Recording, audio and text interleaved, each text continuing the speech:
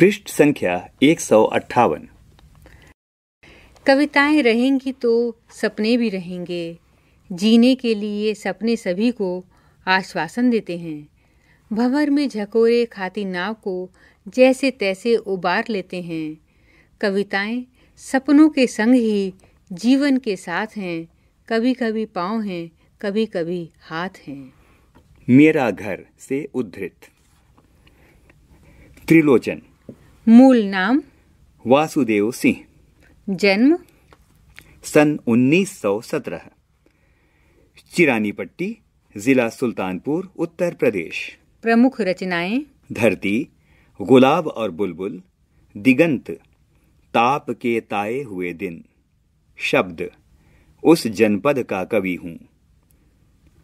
अर्घान तुम्हें सौंपता हूँ। चैती अमोला मेरा घर जीने की कला यह काव्य संकलन है। देशकाल रोज नामचा काव्य और अर्थबोध मुक्ति बोध की कविताएँ। यह गद्य खंड है। हिंदी के अनेक कोशों के निर्माण में महत्वपूर्ण योगदान। प्रमुख सम्मान। साहित्य अकादमी शला का सम्मान। महात्मा गांधी पुरस्कार, उत्तर प्रदेश। हिंदी साहित्य में त्रिलोचन प्रगतिशील काव्यधारा के प्रमुख कवि के रूप में प्रतिष्ठित हैं। रागात्मक संयम और लयात्मक अनुशासन के कवि होने के साथ साथ वे बहुभाषा विज्ञ शास्त्री भी हैं। इसीलिए इनके नाम के साथ शास्त्री भी जुड़ गया है।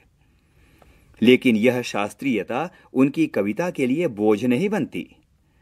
त्रिलोचन जीवन में निहित मंद लय के कवि हैं। प्रबल आवेग और त्वरा की अपेक्षा इनके यहाँ काफ़ी कुछ स्थिर है। पृष्ठ संख्या एक सौ उनसठ।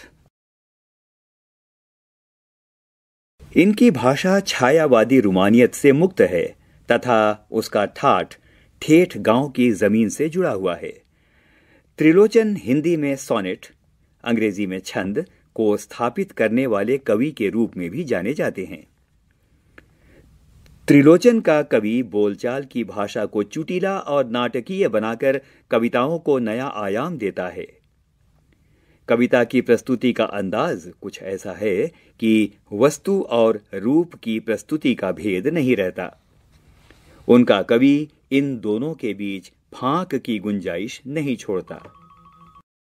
चंपा काले काले अक्षर नहीं चिन्हती, नामक कविता धरती संग्रह में संकलित है। यह पलायन के लोक अनुभवों को मार्मिकता से अभिव्यक्त करती है। कविता में अक्षरों के लिए काले काले विशेषण का प्रयोग किया गया है, जो एक ओर शिक्षा व्यवस्था के अंतर्विरोधों को उजागर करता है तो दूसरी ओर उस दारुण यथार्थ से भी हमारा परिचय कराता है, जहाँ आर्थिक मजबूरियों के चलते घर टूटते हैं। काव्य नायिका चंपा अनजाने ही उस शोषक व्यवस्था के प्रतिपक्ष में खड़ी हो जाती है, जहाँ भविष्य को लेकर उसके मन में अनजान खतरा है। वह कहती है, कलकत्ते पर बजर गिरे।